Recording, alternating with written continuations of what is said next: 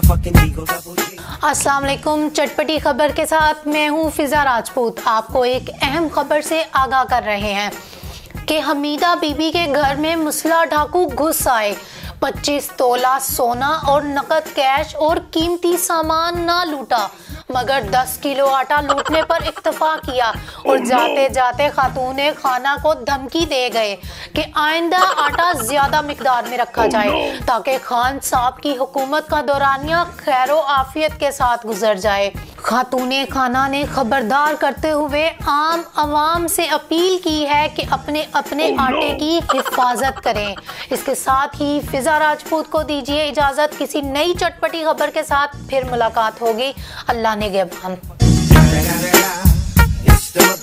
گے